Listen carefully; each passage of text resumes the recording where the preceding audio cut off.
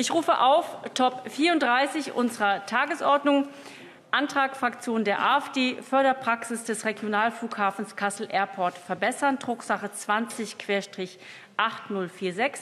Dies ist auch der Setzpunkt der Fraktion der AfD. Und als erstes bitte ich Herrn Vohl von der AfD ans Rednerpult.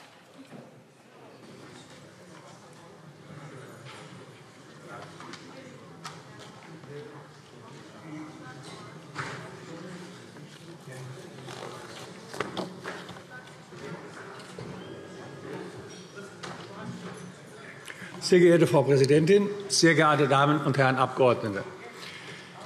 Wir haben das Thema des Regionalflughafens Kassel Airport heute als Sechspunkt eingebracht, weil wir bei diesem Beispiel nicht nur die Notwendigkeit, Dankeschön, nicht nur die Notwendigkeit, sondern auch eine Chance sehen, dass sich an einem festgefahrenen Kurs nicht nur etwas ändern muss, sondern sogar etwas ändern kann.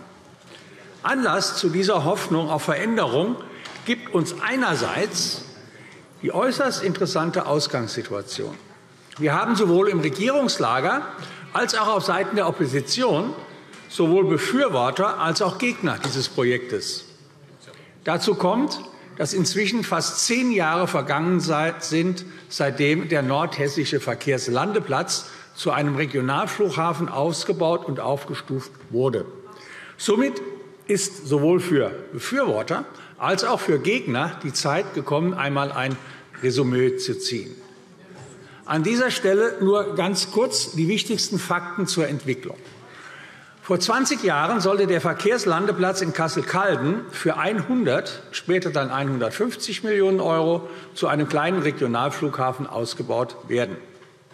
Dass er im Endeffekt mit 300 Millionen € zwei- oder dreimal so teuer wurde wie geplant. War zwar bedauerlich für den hessischen Steuerzahler, wäre aber deutlich leichter zu verschmerzen gewesen, wenn er eine Erfolgsgeschichte gewesen wäre. Doch leider, doch leider bleibt der nordhessische Regionalflughafen weit hinter seinen Erwartungen zurück. Die für den Bau dieses Flughafens zugrunde gelegte Prognose die von einer Eröffnung im Jahre 2010 ausging, sagte für das Jahr 2015 als wahrscheinliches Szenario über 560.000 Passagiere voraus. Wenn alles richtig gut laufen würde, sollten es über 940.000 Passagiere sein. Schlimmstenfalls, also wenn alles ganz schlecht läuft, mindestens 322.000. Im Frachtbereich lag die Prognose zwischen 1.700 Tonnen und 3.500 Tonnen. Doch selbst im bisher erfolgreichsten Jahr des Regionalflughafens 2018 lagen die Passagierzahlen mit einem bisherigen Spitzenwert von 131.800 und einem Frachtaufkommen von 206 Tonnen weit, und zwar sehr weit unter den schlechtesten Prognosewerten. Im laufenden ja, rechnet Kassel Airport, wenn alles gut läuft, mit 113.500 Passagieren. Immerhin dreimal so viel wie letztes Jahr als Corona-Jahr und mit einer Luftfracht von nur noch 15 Tonnen. Die mehr als ernüchternde Passagier das mehr als ernüchternde Passagier- und Frachtaufkommen schlägt sich natürlich im Betriebsergebnis nieder. Hatte man anfangs noch gehofft, dass die öffentliche Hand sukzessive von Zuschüssen in Höhe von rund 9 Millionen € im Jahr wegkommen könnte, zeigen die Ergebnisse der Prognosezahlen, dass man sich von diesem Ziel leider verabschiedet hat. So soll der Jahresfehlbetrag, der im Jahr 2015 genau 6 Millionen € betrug, innerhalb von zehn Jahren nach den sicherlich eher günstigen Prognosen nur um knapp 1 Million € auf 5 Millionen € im Jahr 2024 abgesenkt werden. Für die zusätzliche Finanzierung der hoheitlichen Aufgaben wird im selben zehnjährigen Zeitraum mit einer Absenkung um weniger als 10% von 3,6 auf 3,3 Millionen € gerechnet.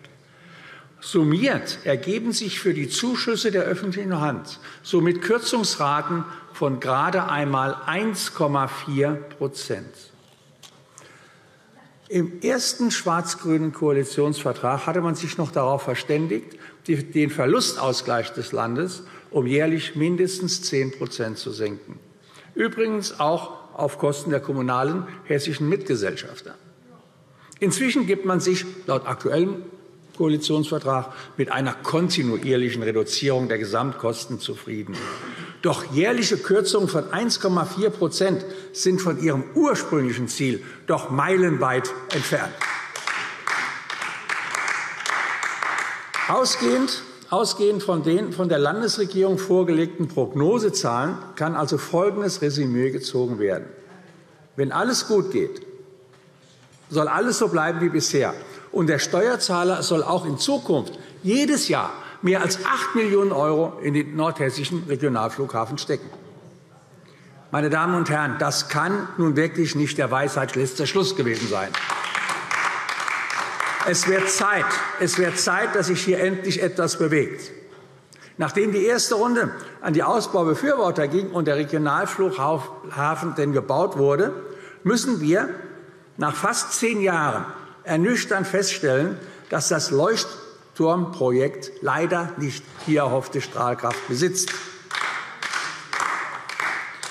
Jetzt liegt es an den Befürwortern, eine konsequente Überprüfung der Kosten-Nutzen-Verhältnisse zuzulassen und, es, und auch Eingeständnisse zu machen. So muss die Frage erlaubt sein, welchen Nutzen die Umwidmung des Verkehrslandeplatzes zum Regionalflughafen Kassel Airport gebracht hat. Nimmt man die Auskunft der Landesregierung, so ist die Antwort klar. Ich zitiere aus der Drucksache 20-6610.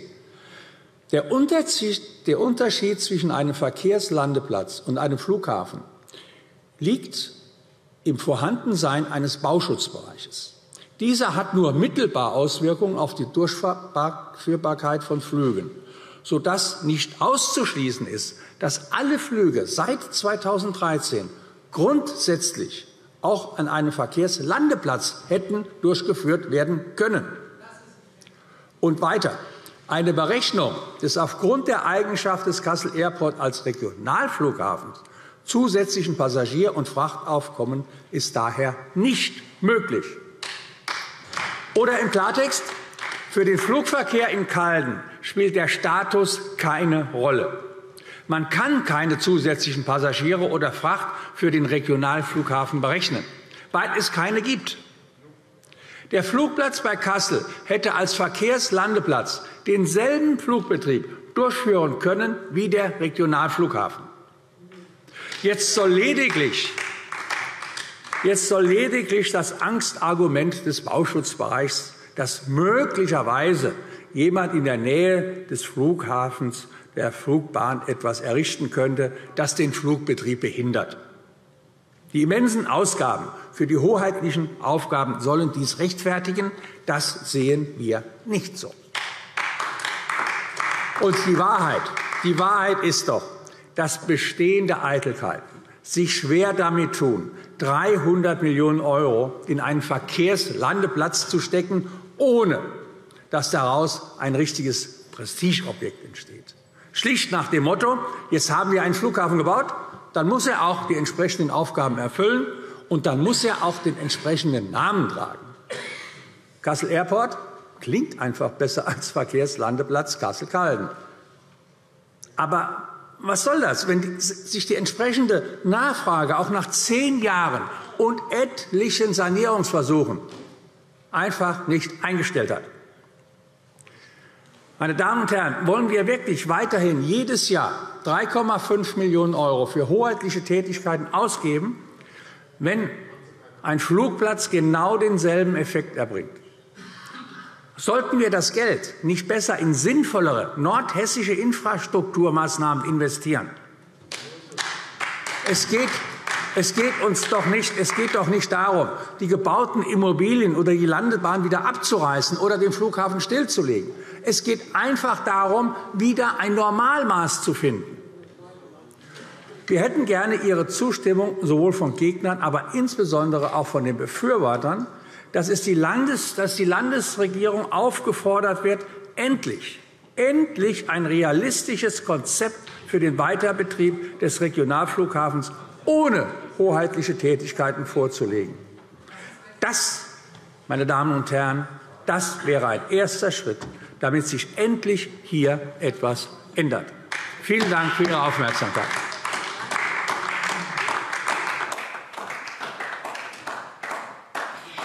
Für die CDU-Fraktion hat sich nun Frau Arnold zu Wort gemeldet.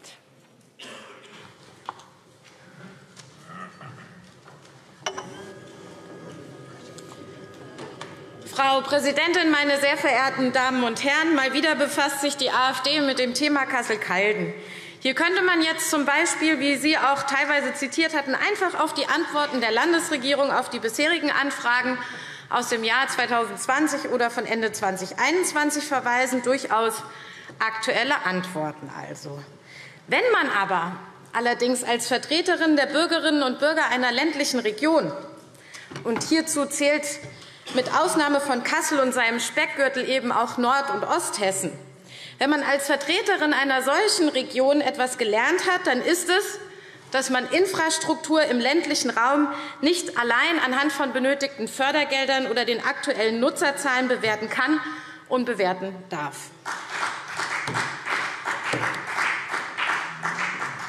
Wird aus Kassel-Calden jemals ein zweiter Frankfurt Airport werden? Sicher nicht.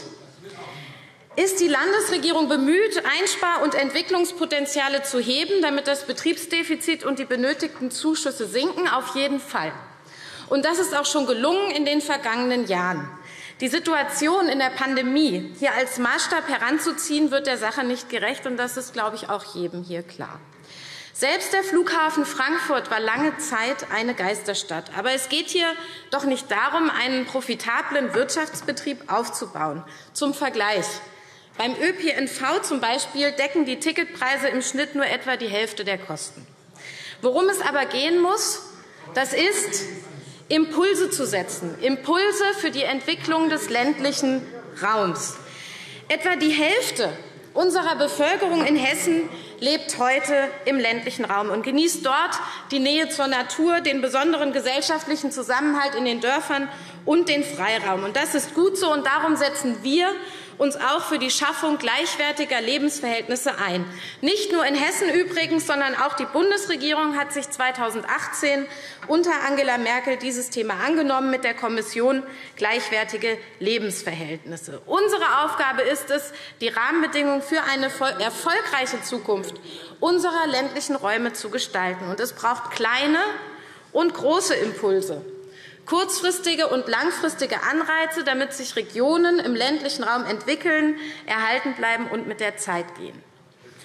Und wenn man als Abgeordnete eine Förderbescheidübergabe beiwohnt, an einem Samstagnachmittag in einem kleinen Dorf mit wenigen Einwohnern steht, und Ihre Abgeordneten sehe ich da Gott sei Dank relativ selten, und sieht, wie sehr sich die Mitglieder des Heimatvereins darüber freuen, dass sie ihren Dorfplatz verschönern können mit neuen Bänken dann merkt man, dass selbst kleine Impulse, ich komme gleich zurück, dass selbst kleine Impulse wichtig sind.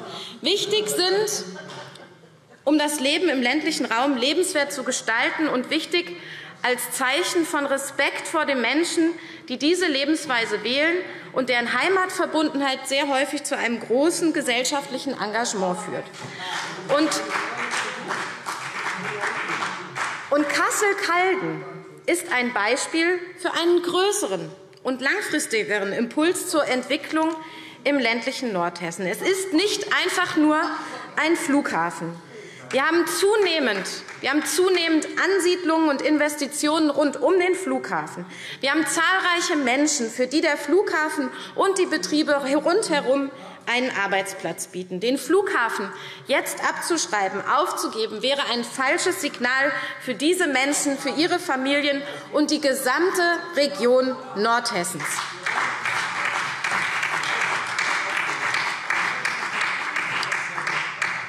Infrastrukturprojekte erwirtschaften in der Regel keinen Profit, und sie benötigen eine lange Zeit, um überhaupt die Chance zu haben, ihre Wirkung zu entfalten. Auch hier ist die Region Nord- und Osthessen ein hervorragendes Beispiel. Der Wieder vor der Wiedervereinigung endete die Bundesautobahn 4 auf der westdeutschen Seite an der Anschlussstelle Wildeck.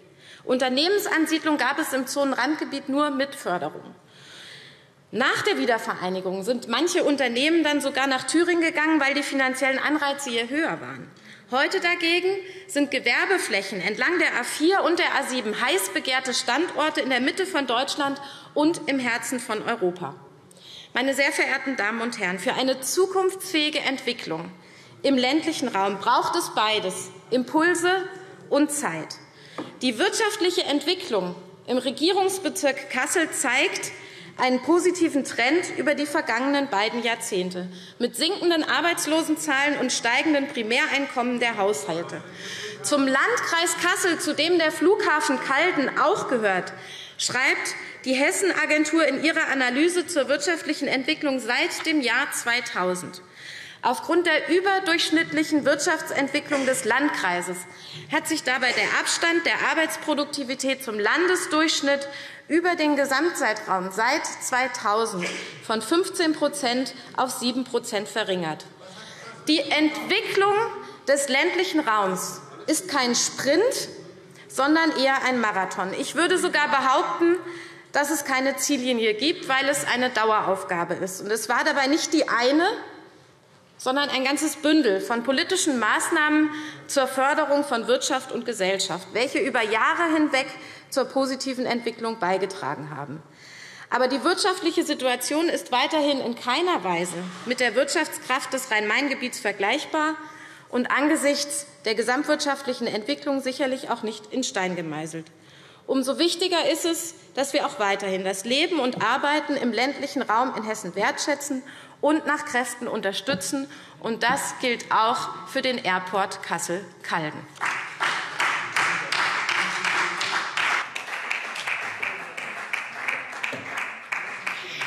Für Bündnis 90 Die Grünen bitte ich nun Herrn Kaufmann ans Rednerpult.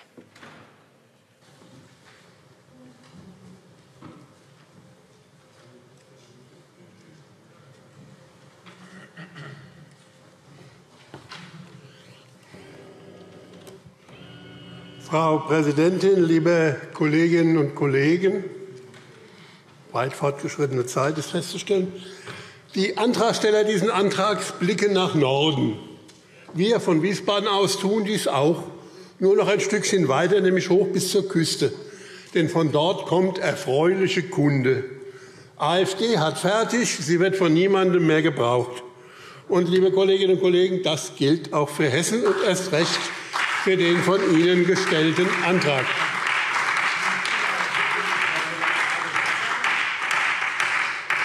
Ich will mich deshalb auf sehr wenige Sätze, die Ihnen auch allen bekannt sein sollten, konzentrieren.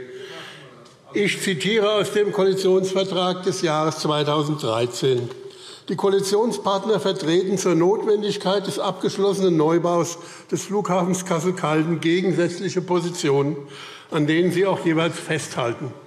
Das Land erwartet unabhängig davon, von der Flughafen Kassel Gesellschaft die sofortige Entwicklung und Umsetzung von Maßnahmen zur Reduzierung des Betriebsdefizits, das gemäß dem Gesellschaftsvertrag zu 68% vom Land zu tragen ist. Im Jahr 2017 wird die Entwicklung des Flughafens seit seiner Inbetriebnahme umfassend evaluiert. Dabei wird nicht nur die Erreichung der Ziele zur Reduzierung des Defizits, sondern auch die dann absehbare Entwicklungsperspektive des Flughafens kritisch überprüft.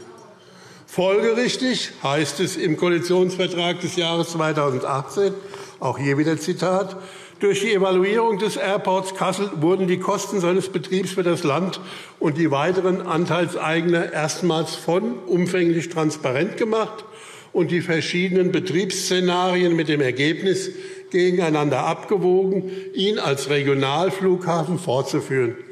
Die Kosten- und Erlösstruktur des Flughafens wurde seit Inbetriebnahme kontinuierlich optimiert.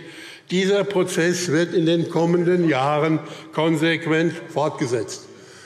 Liebe Kolleginnen und Kollegen der Koalition gab und gibt es unterschiedliche Auffassungen zum Bedarf eines nordhessischen Flughafens.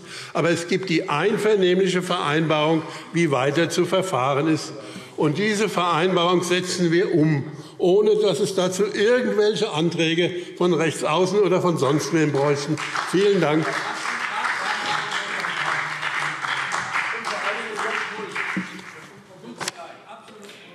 Für die LINKE erteile ich nun Herrn Felstehausen das Wort.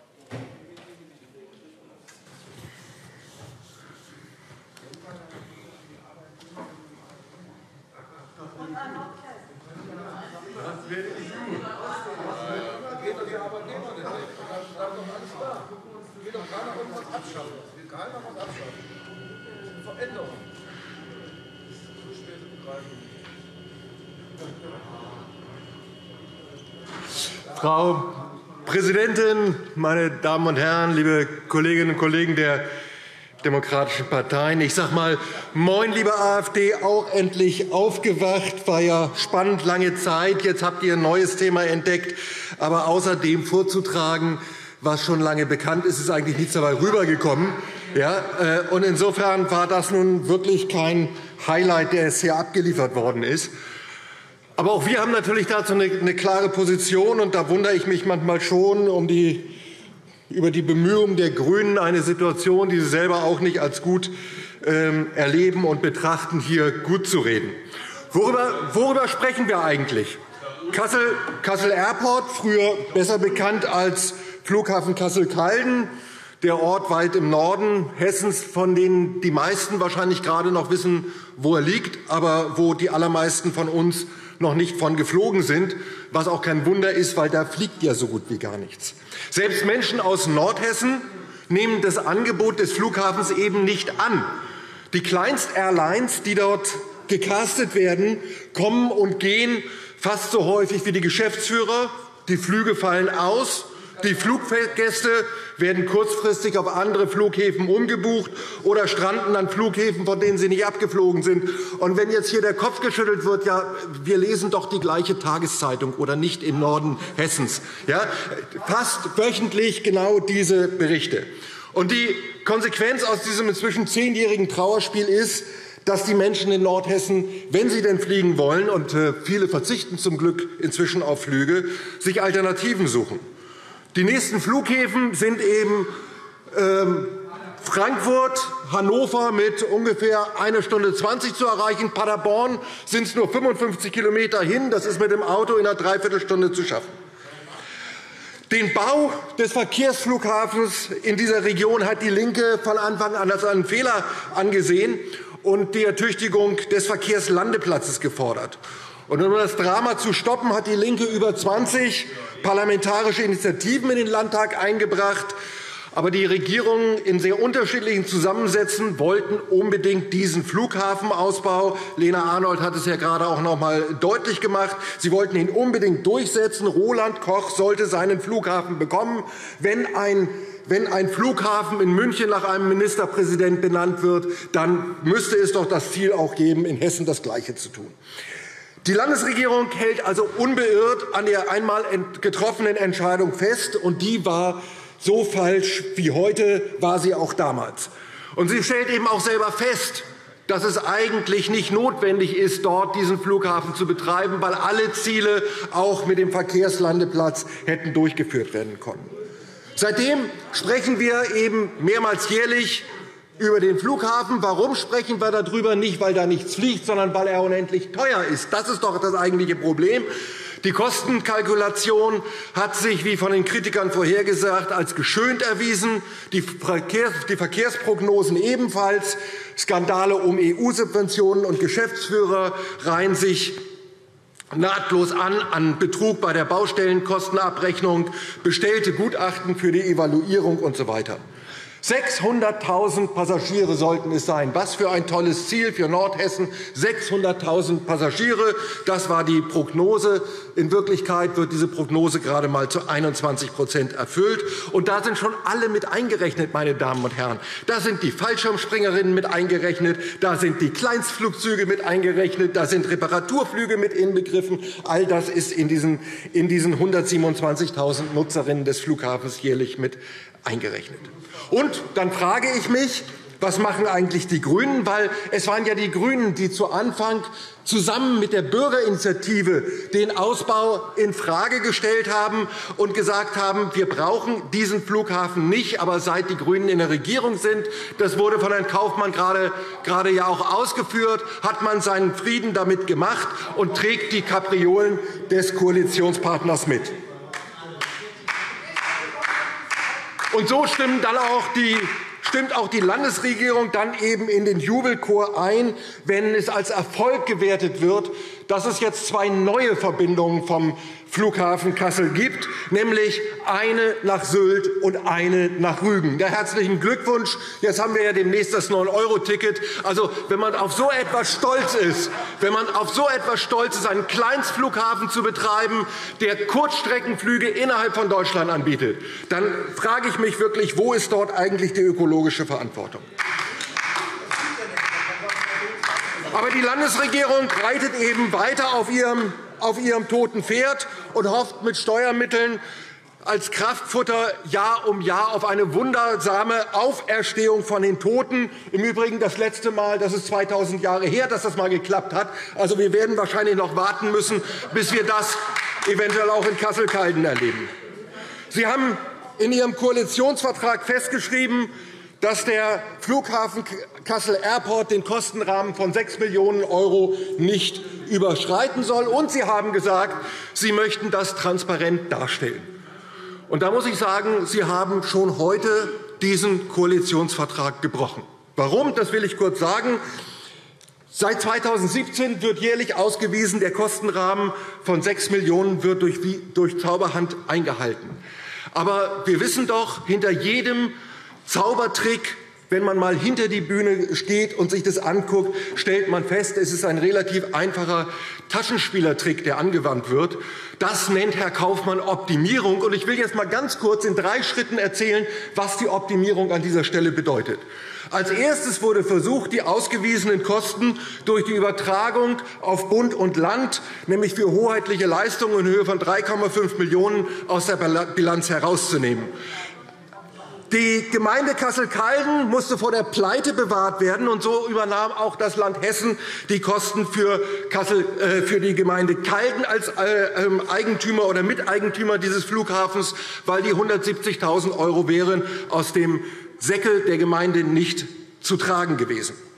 Zweiter Schritt. Das Kerngeschäft, also der Flugbetrieb, liefert den allergeringsten Deckungsbeitrag zu dem äh, Erlös des Flughafens. Der größte Teil der Einnahmen entsteht durch Vermietung von Flächen, unter anderem unter anderem für die Unterkunft für Geflüchtete. Ich bin froh, dass es das gibt. Unter anderem für das Corona-Impfzentrum. Ich bin froh, dass es an dieser Stelle ist. Unter anderem für Pommesbuden und Ähnliches. Aber all diese, all diese Vermietungen haben nicht das Geringste zu tun, nicht das Geringste zu tun mit dem Flugbetrieb, es geht darum, den ehemaligen, den alten Fluglandeplatz eben dort zu vermarkten. Und daraus generiert der Flughafen, der Airport Kassel, derzeit seinen größten Deckungsbeitrag.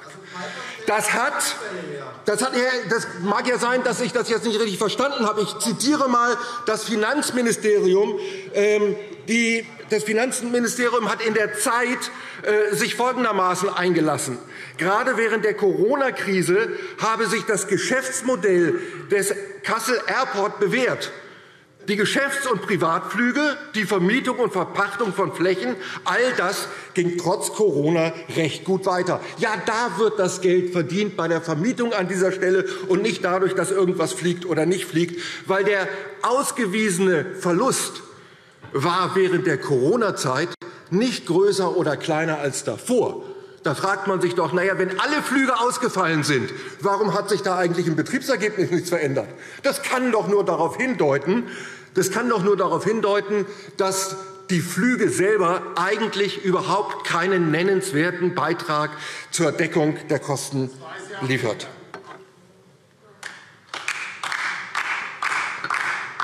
Aber ich möchte noch auf einen dritten Teil des Taschenspielertricks hinweisen. Und zwar funktioniert er wie folgt. Dem Koalitionsvertrag sind die 6 Millionen € festgeschrieben. und Der Finanzminister hat natürlich Sorge, gegenüber den GRÜNEN erklären zu müssen, wie man mit diesen 6 Millionen € umgeht, wenn eigentlich die Summe höher sein sollte. Also gibt es jetzt folgende dritte Maßnahme. Um die 6 Millionen € Grenze zu halten, wird jährlich ein Teil der Substanz verkauft, denn eben zum Airport Kassel gehört auch die ehemalige Verkehrslandefläche. Und dort wird auf diesem Gewerbegebiet jährlich ein Teil umgewandelt. Daraus generiert der Airport Kassel seine Einnahmen, um seine 6 Millionen € zu, ähm, zu halten. Aber das Problem, das der Finanzminister an der Stelle hat, auch für dieses Gewerbegebiet ist die Nachfrage denkbar bescheiden. Und jetzt kommt der finale Griff in die Trickkiste. Die landeseigene Hessische Landgesellschaft mit ihrem Aufsichtsratsvorsitzenden Staatssekretär Jens Deutschendorf und zusammen mit Oliver Kons kauft im Rahmen der sogenannten Grundstücksbevorratung so lange Stücke von der Flughafen GmbH, bis am Ende die Bilanz wieder stimmt. Das, meine Damen und Herren, ist eine perfekte Illusion. Und am Ende steht in der Bilanz 6 Millionen € drin. Die GRÜNEN können sagen, wunderbar, wir haben den Rahmen eingehalten. Der Finanzminister hat einen kleinen Schattenhaushalt aufgebaut, und alle sind glücklich. Das Ende der Geschichte ist doch aber, meine Damen und Herren, es fliegt nach wie vor nichts von diesem Flughafen. Und deshalb stellen wir als LINKE fest, der Airport Kassel ist ökologisch unvertretbar, und er steht den Zielen zur Veränderung von Mobilität diametral entgegen. Der Airport Kassel ist finanziell ein Desaster. Er verschlingt Millionen, die, die wir für die Entwicklung des ländlichen Raums in Nordhessen deutlich besser nutzen könnten. Und drittens, Herr Felstehausen, kommen Sie zum Schluss. Ich komme zum Schluss. Letzter Punkt. Und drittens, damit damit ist der Airport Kassel das Symbolbild in Nordhessen für die Unfähigkeit, die richtigen Entscheidungen im richtigen Moment zu treffen. Und das würde bedeuten, steigen Sie einfach aus diesem Flughafen aus, lassen Sie uns zum Verkehrslandeplatz machen. Dann können alle Flugzeuge fliegen, alle Arbeitsplätze an dieser Stelle bleiben erhalten, abgesehen von dem Personal im Tower und der Betriebsfeuerwehr und dem Zoll auf dem Platz. Aber alle relevanten Arbeitsplätze, die dort sind, bleiben erhalten. Und das wäre tatsächlich eine Perspektive für Nordhessen. Lassen Sie uns mit dem Geld etwas Sinnvolleres anfangen. Vielen Dank.